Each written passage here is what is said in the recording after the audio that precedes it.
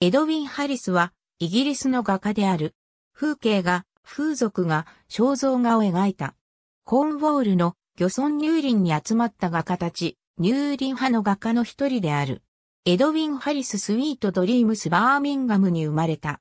15歳の1870年からバーミンガム美術学校で学び、1877年には王立バーミンガム芸術家協会の展覧会に出展した。アントウェルペン王立芸術学院に留学しで、シャルル・ベルラに学んだ。同じ頃、フランク・ブラムリーもベルラに学んだ学生であった。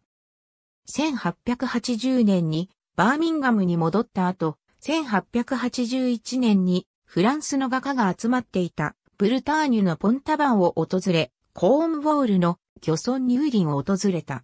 バーミンガム時代の友人、ウォルター・ラングレーは1882年に乳林に住むようになり、ハリスは1883年から乳林に住むことにした。ハリスの後、ブラムリーを含む多くの芸術家が乳林に住むようになり、乳林派が形成された。ハリスは12年ほど乳林に住んだ後、1895年に乳林からウェールズのカーディフやニューポート、ブリストルに移り肖像画家として生活した。1898年にバーミンガムに戻り、スタジオを開いた。1885年に、王立バーミンガム芸術家協会の巡回員、1886年に正会員に選ばれた。ありがとうございます。